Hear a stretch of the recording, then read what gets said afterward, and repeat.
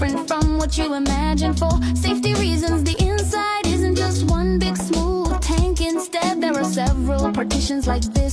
Because when the oil tanker is transporting, a wave effect may form inside the liquid. These impacts are extremely terrifying, many times higher than the weight of the liquid itself, especially when breaking suddenly or making sharp turns. To reduce the impact of the wave effect, but it's important to know it's not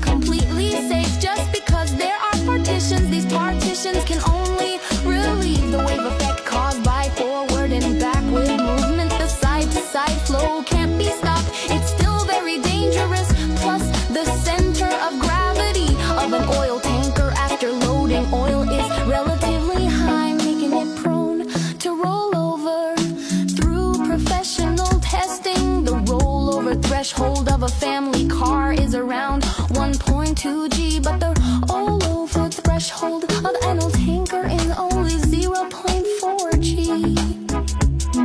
A full three times lower. So when you see an oil tanker on the road, try to keep a safe distance. Never